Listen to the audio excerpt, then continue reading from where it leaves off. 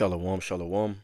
First and foremost, I want to give all praise, all honor, and all glory unto Yahweh, Bahashem, Yahweh Shai, Bahashem, Rakak Wadash. Double honors to the head apostles slash elder bishops of the great millstone who teach and who rule well. Peace, blessings, and safety. To all you sincere Akim, keep pushing, keep believing, and keep the faith, regardless of whether people hear or whether they forbear. All right, and uh, this lesson is pretty much gonna be going into how you brothers that's in the truth. All right, if you ain't got no woman right about now, then don't stress it. Don't worry about it. All right, the Lord has got us covered. Okay, and uh, what's sparking this lesson is that I was in a um, I was on Facebook, and I was in some kind of comment board or something like that. I don't know how, but somebody posted a topic where they said uh, that the average uh, woman in Babylon the Great in America, all right, thinks that she's better than the average man. Okay, and um, I, I replied back, and this is what I said, and I think that I hit the nail right on the head. You know, maybe you brothers um, may see things differently, or maybe you agree with me, but this is the reason why. Okay, this is what I posted. I said, uh, women think that they are better than their male counterparts, which in this society they are, and that's because the roles have been changed. Okay, and I'm speaking from a worldly point of view, all right, not a spiritually point of view, because, um, you know, according to Yahweh Bashem Shai, the the head of the household is the man. All right, so a woman can never be higher up than a man. All right, the head of the household is the man according to the Lord. That's First Corinthians, uh, the 11th chapter, I believe. But I said in this society they are, all right, in Esau society. Okay, why? Because the roles have been changed. All right, men bring protection and provisioning, and women uh, bring beauty and fertility. All right, femininity, etc. If men bring resources, but women have both resources and beauty, then that makes them believe that they are superior. The elites have done this on purpose as a part of population control. One thing that women can't bring, though, is protection. Soon, this society is going to collapse, and with the collapse and threats of imminent danger around every corner, the tables will actually be flipped, and women will be begging to get with any man because without one, they will not survive. Okay, and um, that's what I what I responded back to that question, and uh, this is actually biblical. Okay, this is actually biblical. I didn't go into it on the on that uh, Facebook post. All right, but this is actually biblical. This is exactly how it's going to happen. All right, as of right now, all right, uh, women are very arrogant, proud, you know, um, and why they like that? Okay, once again, because the elites have set that up and set it up to be that way. All right, to where uh, women are held in a higher esteem, a higher regard in Babylon the Great in this society than men are. All right, and ultimately, the Lord is the one that has set it up that way, and it is a curse, all right, against the men of Jacob. And I'm going to read and go into it, and we're going to see why that is. All right. So I'm going to start off here in the book of Jeremiah, chapter 31 and verse 22. It says, How long wilt thou go about, O backsliding daughter? For the Lord hath created a new thing in the earth. A woman shall compass a man. Okay. All right. So the Lord, He's the one that has set up this order. All right. He's the one that set up an order. It says, A woman shall compass a man. All right. She shall rise up above a man. See, in, in ancient societies, it was never that way. All right. For the most part, uh, women understood their role. All right. And, you know, women have a wonderful role that the Most High has given them. You know, and uh, as the scriptures say, a woman is the glory of a man, you know, so they are, you know, valuable, all right, but at the same time, they are not to be uh use not to usurp authority or to be, or to be put over men, all right, especially when it comes to uh to you know leadership and and spiritual matters, all right. So the Lord has done this as a punishment. Now, why did He do this? Okay, let's let's go to the book of Jeremiah, chapter six and verse two. All right, it says I have likened the daughter of Zion to a comely and delicate woman. Okay, so pretty much the Heavenly Father, all right, he likens the daughter of Zion, which is the Israelites, all right, to a comely and delicate woman. He sees us as a beautiful woman that he was married to. And that's the reason why he's brought these curses upon us. Because what do we do? All right, let's go ahead and read about that in Jeremiah, the third chapter. Okay, and I'm going to start at verse 1. They say, If a man put away his wife and she go from him and become another man's, shall he return unto her again? Shall not that land be greatly polluted? But thou hast played the harlot with many lovers, yet return again to me, saith the Lord. Okay, and so uh, the comely and delicate daughter of Zion has committed spiritual adultery against the heavenly Father, meaning that we have went and worshipped other, uh, you know, we worshipped false gods, okay, idols. All right, I was about to say uh, other gods, but the only true and living God is the heavenly Father. Okay, so you know we have worshipped um, idols. All right, so we played the harlot with many lovers. Okay, it says, Lift up thine eyes unto the high places and see where thou hast been lean with, been lying with, Salakia. In the ways thou hast thou sat for them as the Arabian in the wilderness, and thou hast polluted the polluted the land with thy whoredoms and with thy wickedness. Therefore the showers have been withholden, and there hath been no latter rain, and thou hast a force a so like thou hast a whore's forehead, thou refusest to be ashamed. Okay, so the Lord will send plagues against us when we worship other gods. Okay, the Lord send plagues. All right, once again, that's likened unto spiritual, you know, um, spiritual adultery. All right, it's just like if you have a beautiful woman and she and you find out that she's sleeping with other men behind your back, you're not gonna be very happy about it. Okay, it says, "Wilt thou not from this time cry unto me, my Father? Thou art the God of my youth." Okay, so when he when he brings those plagues, what do we do? We always, you know, um, we always uh, cry out to the Lord. Okay, and and you know, pretty much try to come back. It's the same, like, once again, imagine if you got a woman, you know, that's your glory, you know, and, um, and she's out there messing around with a bunch of different men, you know, uh, and then every time, you know, they beat her up or, or things don't go right, she comes back to you. All right, you're gonna look at her like like she's defiled, right? You can be like, oh no, I don't I don't want to deal with you. All right, you you know, pretty much we only would go to the Most High when we needed something. All right, like imagine you know you have a woman that you're she really love and she pretty much just uses you all right? She doesn't care about you. She only comes around when she needs something. But other than that she's out messing with other dudes. Okay that's pretty much what we did to the heavenly father okay? Uh, jeremiah 3 and 5 it's like at 6 it's like at 5 5 5 jeremiah 3 and 5 will he reserve his anger forever? Will he keep it to the end? Behold thou hast spoken and done evil things as thou couldest the Lord also said unto me in the days of Josiah the king, Hast thou seen that which backsliding Israel hath done? She is gone up upon every high mountain and under every green tree, and there hath played the harlot. And I said after her she had done all these things, Turn thou unto me, but she returned not, and her treacherous Judah, so like her treacherous sister Judah, saw it. And I saw when for all the causes whereby backsliding Israel committed adultery, I had put her away and given her like, given her a bill of divorce. Yet her treacherous sister Judah feared not, but went and played the harlot also. Okay, so you know, um, uh, essentially, like you know, the Lord was married to to the daughter of Zion, but uh, uh, you know, you have the southern and the northern kingdom. Okay, the northern kingdom fell into idolatry first. All right, and the southern kingdom uh, came later and, and and did this wickedness. So let's see. Uh, I'm gonna skip down Jeremiah three, and verse um, let's see.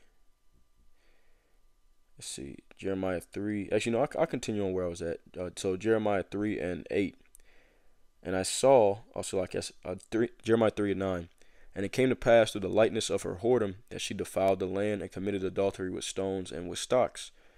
And yet for all this, her treacherous sister Judah hath not turned unto me with her whole heart, but vainly said the Lord. And the Lord said unto me, The backsliding Israel had justified herself more than her than treacherous Judah.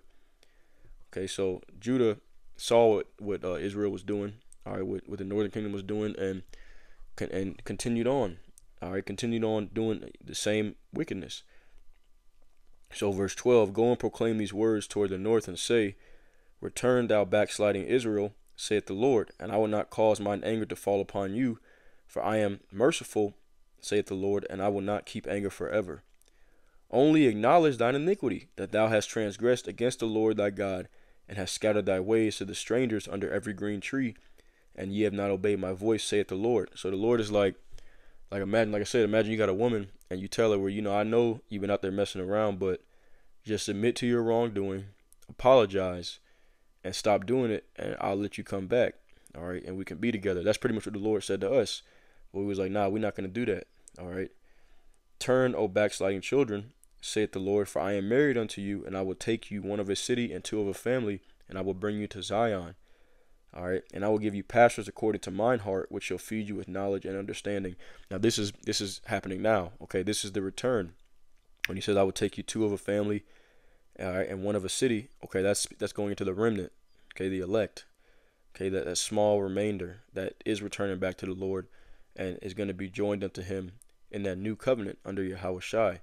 Okay, so then it kind of goes into the deliverance of Jacob after that. All right. But that's ultimately that's the reason why the Lord, all right, put these curses upon our people, all right, upon the men because you know we uh we were disobedient and went up against the heavenly Father. So he said, "I'm gonna make your women be disobedient and go up to, against the heavenly Father." Um, so like he, said, "Okay, let me let me rephrase that. I don't know, my mind is all over the place. Okay, we went up against the heavenly Father, so he said, "I'm gonna make your women go up against you." All right, so you know how it feels. Okay, that's pretty much why we are in the condition that we're in now with the relations between men and women in Babylon the Great. And it's all a part of our, our punishment. Okay, it's a part of our discipline, our chastening. All right, and the Lord taking that curse off up off of us is going to be part of our reward. All right, let's get this. Once again, this is all part of the curses. Okay, all even goes back to Deuteronomy chapter 28. Okay, Deuteronomy 28 and 56, it says, the tender and delicate woman among you, which would not adventure to set the sole of her foot upon the ground for delicateness and tenderness. Her eye shall be evil toward the husband of her bosom, and toward her son, and toward her daughter. Okay, and the the, the so-called black woman. All right, you know you have a few that that are that are right, but for the most part, okay, the so-called black woman and the so-called black man are pretty much enemies in Babylon the Great. All right, um, they have fully taken on the ways of Esau for the most part and pretty much follow behind his pernicious ways. All right, feminism. You know, you got a lot of these black women supporting the um, alphabet community. I mean, all these different things. All right, while you have the the and the men are the men are, are going off as well. All right, but you know we don't we don't care about the men. I'm talking about the women here because the women are our glory. The two third uh, men, you know, they're gonna perish. All right, and most of the women are gonna perish as well. But you know, once again, this is all part of the punishment because here in Babylon the Great, all right, when you do when you do good unto a woman, you know, for the most part, it actually turns them off. Okay? And once again, the reason why the Lord is doing that is it's like um it is pretty much him showing us what he what he was feeling. All right? Because it's the same way the Lord would do good unto us, and what would we do? We would go out there and commit spiritual adultery. All right, we would worship idols. Okay, so now once again, he, he has this, he has our women doing the exact same thing to us that we did to him. All right, but here's where the silver lining is at. Okay, as as the world comes to a close, all right, the Lord is getting ready to flip all of this in the time of Jacob's trouble. All right, which is the reason why you know in that original um, the original reply that I wrote on that comment board.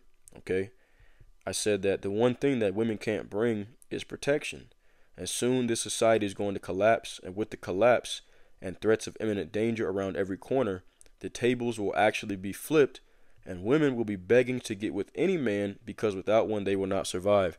Okay, so right now the Lord has got him in a trick bag. All right, He's got it to where pretty much you know there's there is an illusion of safety, all right, in this society, and it's caused uh, the women to think that they really don't need men. All right, that that uh, you know, to become arrogant, prideful. All right. And see the Lord, He's got him in a trick bag, man. He's about to He's about to flip the whole script on them. I'm gonna start with Isaiah the third chapter to get that right quick. This is Isaiah chapter three and verse um, 16. It says, Moreover, the Lord saith, Because the daughters of Zion are haughty, and walk with stretched forth necks and wanton eyes, walking and mincing as they go, and making a tinkling with their feet. All right, so that promiscuous kind of look, you know, um, I can't really describe it, but arrogant, cocky, you know, that that Megan Thee Stallion spirit, that Cardi B spirit, that Sexyy Red, that Sukihana spirit. Okay, therefore the Lord will smite with a scab the crown of the head of the daughters of Zion, and the Lord will discover their secret parts. In that day, the Lord will take away the bravery of their tinkling ornaments about their feet, and their cowls, and their round tires like the moon, the chains, and the bracelets, and the mufflers, the bonnets, and the ornaments of the legs, and the headbands, and the tablets, and the earrings, the rings and nose jewels, the changing suits of the changeable suits of apparel, and the mantles, and the wimples, and the crisping pins, the glasses, and the fine linen, and the hoods, and the veils. And it shall come to pass that instead of sweet smell there shall be stink, and instead of a girdle, a rent. Okay, and uh, a girdle um, used to be what what women would wear, and it would kind of shape their body and make them um, like give you that hourglass figure. All right, but instead of that, a rent meaning they're going to be um, you know shaped oddly. All right, and instead of well set hair, baldness, and instead of a stomacher, a girding of sackcloth, and instead of and burning instead of beauty. All right, and thy men shall fall by the sword, and thy mighty in war. Okay, so of course the men are not going to escape either, but the Lord is going to put all these curses upon the daughter of Zion because the daughters of Zion, because as of right now, okay, they're they're haughty. All right, they're walking around very arrogantly, very proud, you know, and the Lord he, he's not with that. So he said, I'm going to bring that great destruction. Let's uh let's go to the book of Isaiah chapter 13. Okay. Isaiah chapter 13 and verse 11 is where I'm going to start. All right, the Lord says, And I will punish the world for their evil and the wicked for their iniquity, and I will cause the arrogancy of the proud to cease and will lay low the haughtiness of the terrible. Okay, and that's really Esau, but you know, um, Esau has enabled um, the, the, the, you know Jake's women, all right, so-called Negro, Latino, and Native American Indian women, to be arrogant, to be proud, to be haughty, all right, and they're going to be brought low right along with Esau. It says, And I will make a man more precious than fine gold, even a man than the golden wedge of Ophir. Okay, so he says, I'm going to make a man more precious than fine gold. Okay, it says, Therefore I will shake the heavens, and the earth shall remove out of her place in the wrath of the Lord of hosts, and in the day of his fierce anger.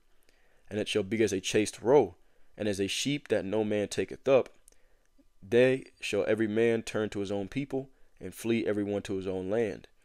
And every one that is found shall be thrust through, and every one that is joined unto them shall fall by the sword. Okay? The children also shall be dashed to pieces before their eyes, their houses shall be spoiled, and their wives ravished. Okay, so women are going to be uh, pretty much being victimized out here, man. All right, that's how it's going to go down. And once again, in that day, a man is going to be more precious than fine gold, but not just any man, all right, a man that's of the elect, okay? Because once again, without a man that's of the elect, that's being protected by the angels, you're not going to make it. This is uh, Micah chapter 7 and verse 10. Then she that is mine enemy shall see it, and shame shall cover her, which said unto me, Where is the Lord thy power? Mine eyes shall behold her. Now shall she be trodden down as the mire of the streets. Okay, so if you're, you know, if you're uh the women, that's another thing too. A lot of these women are enemies to the truth. All right, they they hate the Hebrew Israelites. Okay, they don't want to hear nothing to do with the laws of the Lord. And once again, see the reason why that is because let's keep it let's keep it a buck. All right, sin feels good. Okay, living a life of sin and feeding the flesh, it feels good. But the scriptures say that uh, she that liveth in pleasure is dead while she liveth. All right, she's spiritually dead, and the Lord is going to manifest that into the physical. Okay, so these women that are, you know, these wicked women, the OnlyFans and you know whores and all this kind of stuff, that you know, the arrogance, the pride, all that's going to be laid low. All right, and a lot of these women, you're going to be seeing them getting stumped out you know, uh, taken by force. Okay, you know, group uh, groups of men will be grabbing women up and doing what they want to do with them, and the only way that they'll be able to escape that is a man of the Lord. That's the reason why, once again, as we read, okay, that I will make a man more precious than fine gold. Okay, because the Lord is going to bring great evils against them. All right. Once again, right now they're very arrogant, but all that is getting ready to change very, very soon. Okay. Let's get uh Second Esdras chapter 16. All right, Second Esdras chapter 16, and I'm gonna start. I'm just gonna get 33 and 34. Okay, that's another thing too. See, a lot of men on earth are gonna die. Okay, the vast majority of men are gonna die. Uh, you know, these women, they're gonna be widows, and you know, there's not gonna be men around to marry the women and all that. So it's gonna be a shortage of men. And then the men that do survive, okay, you know, it's either going to be because they're either of the elect or the Lord has allowed them to survive so that they could be spirits that are created for vengeance. Okay? This is 2nd Ezra chapter 16 and verse 33. It says, The virgins shall mourn, having no bridegrooms. The women shall mourn, having no husbands. Their daughters shall mourn, having no helpers. In the wars shall their bridegrooms be destroyed. All right, World War III, the race wars, the class wars, the civil wars. Okay, in the wars shall their bridegrooms be destroyed, and their husbands shall perish of famine. Okay, so a lot of these women, you know, even if you do have a husband right about now, okay, most likely he's not going to make it unless he's a man of the Lord. All right, he's not going to make it. He's going to get deleted, and then you're going to be out there to fend for yourself. All right. But let's see what it says. Let's go to Isaiah, the 32nd chapter. Okay. This is Isaiah chapter 32 and verse 1. Behold, a king shall reign in righteousness, and princes shall rule in judgment. Okay. And that king is Yahweh Shai, who the word literally calls Jesus. And those princes are the 144,000. All right. The men of the elect. And a man shall be as an hiding place from the, from the wind, and a covert from the tempest. Okay. As rivers of, of water in a dry place as the shadow of a great rock in a weary land. Okay? So a man shall be as a hiding place from the wind.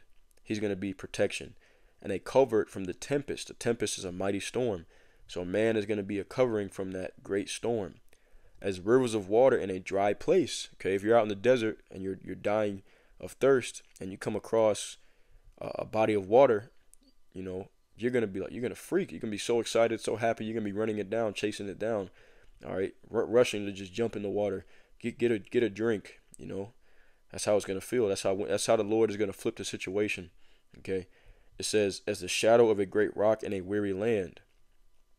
Okay, it says and the eyes of them that see shall not be dim, and the ears of them that hear shall hearken. Okay, so th- those that are of the elect, before this time comes, they're gonna be returning back to this knowledge, wisdom, and understanding. The heart also of the rash shall understand knowledge, and the tongue of the stammerer shall be ready to speak plainly. All right, so the Lord is perfecting his saints through this knowledge, wisdom, understanding. And I'm going to skip down to um, verse 9, Isaiah 32 and 9. Rise up, ye women that are at ease. Hear my voice, ye careless daughters. Give ear unto my speech. Many days and years shall ye be troubled, ye careless women. For the vintage shall fail, the gathering shall not come. So your food stamps, your, your Section 8 housing, your fan, you know, or if you're not on that, you got a fancy career. Okay, what's going to happen? All that is going to be shut down. Okay, because once again, in this society, you know, you're able to skate by, you know, um, with with you know finances and all that. But this this uh, monetary system is getting ready to collapse. Okay, and then Esau is going to bring out that that RFID microchip. All right, the, the mark of the beast. And you know, if you don't take it, you're going to be pretty much trodden down. But if you if you do take it, I mean, so like if if you if you don't take it, you're going to be uh, suffering and on the streets for the most part. Okay, but the elect is going to remain strong and not take it. But if you do end up taking that chip because you want to save your life, you want to still continue to be a part of Babylon. All right, you're going to end up like Lot's wife. Okay, you're going to be destroyed. Okay. Um, but anyways, so you know it says, uh, "Rise up, ye careless women." Okay, because in, in, in America, all right, this is this place allows people, period, to just do wickedness, to live in wickedness. All right, and the thing about it is that um, you know, if you're a beautiful woman, you're pretty much on top of the world. You know, it, it, that's the reason why the truth is mostly men. Okay, because sin and temptation is much uh, harder. It's much harder for a woman to walk away from the world because you have the world constantly chasing after you. If you're you're a beautiful woman, you have men throwing themselves, you know, 100 dudes on Instagram throwing themselves at you, you know, um, getting hit on all the time, and you have a, pl- a, pl- a plethora of men to choose from, you know, so it, it, it affords you that that uh, luxury of being picky, you know, arrogant, cocky, and all that kind of stuff.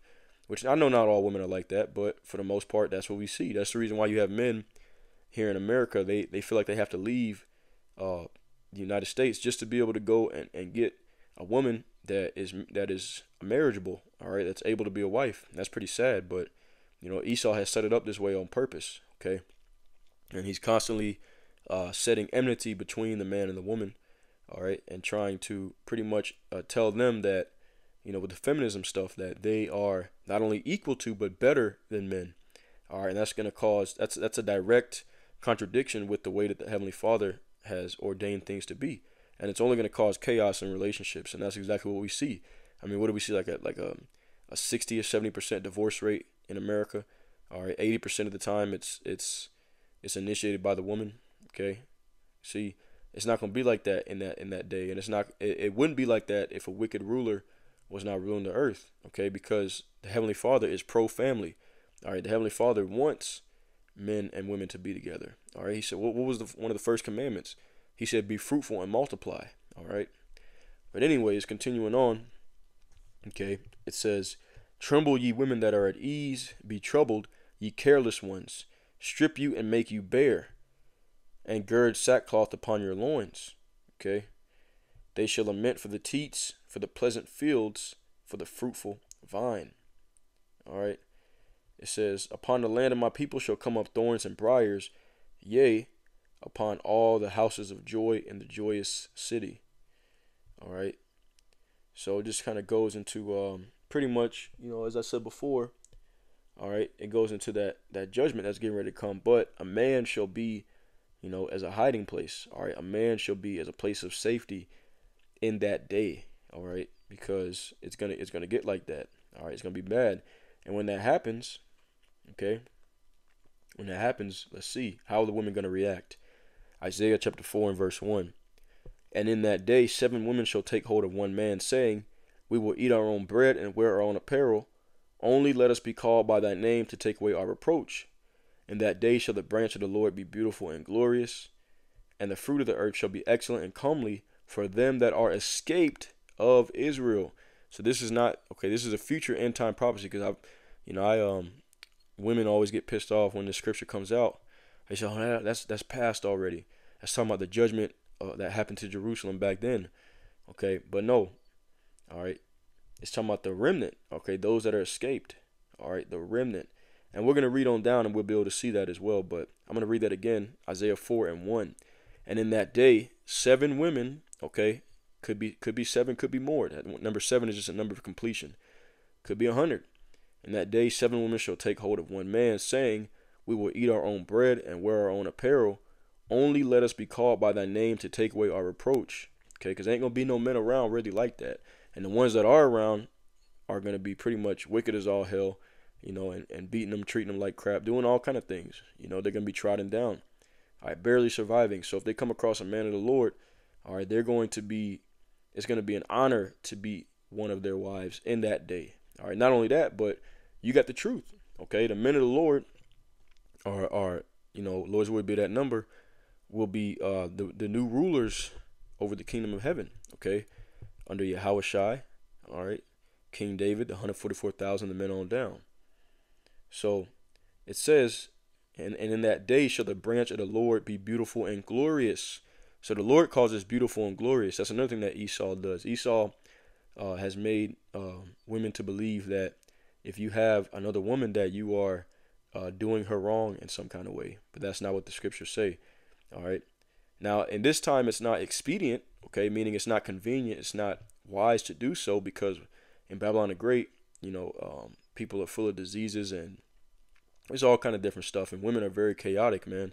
You know, if you have a, if you do have a good one, then hey, you know, big ups to you, blessings to you, you know. But for the most part, most brothers can't even really handle one woman, okay? Let alone two, three, however many, right? So, you know, it's not wicked to do that, you know, but at the same time, it's not expedient, okay? But in that time, you know, when this society falls and the children of Israel, the elect specifically, are are raised up, lifted up, then it's going to be a whole different, you know, world and you know, we're going to be we're going to be in the kingdom. All right, we're going to be rulers and princes and priests and kings so we'll have servants and subjects and, and handmaids and all that. So it won't be the same as it is now. All right. But this is going to take effect even before then. All right. Once again, during the time of Jacob's trouble. Okay. And it shall, I'm going to read that again Isaiah 4 and 3. And it shall come to pass. All right. Actually, 2. In that day shall the branch of the Lord be beautiful and glorious, and the fruit of the earth shall be excellent and comely for them that are escaped of Israel. And it shall come to pass that he that is left in Zion and he that remaineth in Jerusalem shall be called holy, even every one that is written among the living in Jerusalem. when the Lord hath washed away the filth of the daughters of Zion, and shall have purged the blood of Jerusalem from the midst thereof by the spirit of judgment and by the spirit of burning. Okay, so going through that spiritual fire, that's how you know. All right, that's how you know that this is speaking of uh, uh end time. Okay, because the children of Israel are not going to be uh, washed clean fully until the Lord comes. All right, until they're translated. All right, and they are and they are um they they they take off the corruptible and put on the incorruptible. You know, which it's starting to happen little by little with this word. Okay, as it says in John 15 and 3, you are now made clean by the words which I have spoken unto you. All right, but you know, um, it's gonna it's coming through through that spiritual fire. Okay, so that's how you know that this is speaking of the end time. It's not talking about a time that that happened before already, because the children of Israel are still in wickedness till today. All right, but this says that He's gonna wash away the filth from the daughters of Zion. All right, let's get a few more scriptures and I'll get ready to close out. This is Isaiah chapter 60, and I'm gonna go down to verse um 21. It says, "Thy people shall be all righteous; they shall inherit the Lord the land forever. The branch of my planting, the work of my hands, that I may be glorified. And a little one shall become a thousand, and a small one a strong nation. I, the Lord, will hasten it in His time." Okay. All right. So a little one shall become a thousand, and a and a small one a strong nation. Okay. Why is that? Because the remnant is going to take, you know, their women, and they're going to enter into them, and they're going to conceive and bear forth children. This is how the two thirds are going to come back. Okay. So that's a part of the um that's a part of the the blessing and the reward that the elect men are going to receive for remaining faithful to Yahweh Shai. He's going to take that curse up off of you know the relationship between the man and the woman. They're going to be joined back together again and they're not going to be thinking about you being with another woman. They're just going to be happy to be alive. They're going to be happy that that that they were chosen by you okay? And they're going to see you in your glory in your power. Hell even now jake being at the bottom of society okay women still desire us of all nations man. All right the heathen women and our own women they you know they still want to be with us. They just they just don't want to come correct all right? And a man of the lord really doesn't have time to be dealing with a cantankerous woman, all right, a boisterous woman. Okay, we're too focused on on serving Yahweh Bashem Yahushai. Okay, but in this day, once again, a little one shall become a thousand. Okay, when they reproduce, and a small one a strong nation. I, the Lord, will hasten it in His time. Okay, and uh, Yahushai kind of briefly touched on this. All right, in the book of uh, Mark, chapter ten. All right, Mark chapter ten and verse uh, about twenty-eight. Okay. It says, And then Peter began to say unto him, Lo, we have left all, and have followed thee. Are he's saying this to Yahushai. And Yahushua answered and said, Verily I say unto you, there is no man that hath left house, or brethren, or sisters, or father, or mother, or wife, or children, or lands for my sake and the gospel's. But he shall receive, all right, but he shall receive an hundredfold now in this time. Houses and brethren and sisters and mothers and children and lands with persecutions and in the world to come eternal life. Okay? So says everything that you gave up you're going to receive a hundredfold okay in the world to come. So that's a that's a beautiful thing. And i'm going to close out with this. All right psalms chapter 128 all right? And it tells you for the remnant okay that their wife should be as a fruitful vine by the side of thine house. Let's go ahead and read it. Psalms 128 and 1. Blessed is everyone that feareth the Lord, that walketh in his ways. For thou shalt eat the labor of thine hands. Happy shalt thou be, and it shall be well with thee. Thy wife shall be as a fruitful vine by the sides of thine house, thy children like olive plants round about thy table. Behold, that thus shall the man be blessed that feareth the Lord. The Lord shall bless thee out of Zion, and thou shalt see the good of, of Jerusalem all the days of thy life. Yea, thou shalt see thy children's children, and peace upon Israel. Okay, so there you go. All right, you're going to see thy children's children, meaning many generations. You're going to be just like the forefathers. Okay, yeah, the founding fathers of, of this wicked, sinful kingdom. You know, Lord's will we be those men that are the founding fathers of Yasharallah. All right, the sons of God, the princes of the power. Okay. But um, it says that that wife should be as a fruitful vine. And that's another thing. See, one of the curses also is uh, women uh, ha- bearing children in pain. It's not going to be that way anymore. So we don't know exactly how it's going to be, like if it still be nine months and all that kind of stuff. But uh, you know, we know that that our our wives will be able to bear children to us. Salakia, okay. Uh, but anyways, that being said, all right, Lord's will was edifying and uplifting. All right, to the brothers, you know, um, if you don't have a woman, don't stress about it because the Lord is going to, you know, He's going to uh, deliver that for you. All right, in the time to come. All right, so there's no need to worry.